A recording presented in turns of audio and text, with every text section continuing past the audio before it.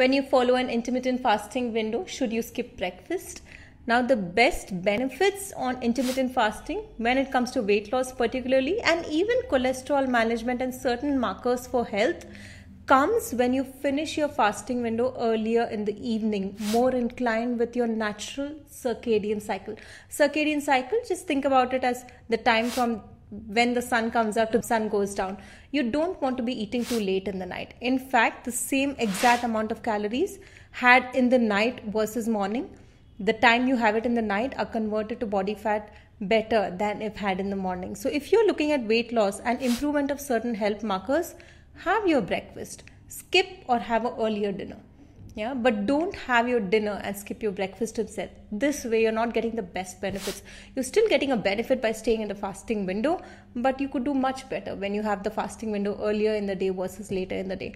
Personally i like to keep dinner a soup or a smoothie depending on the weather.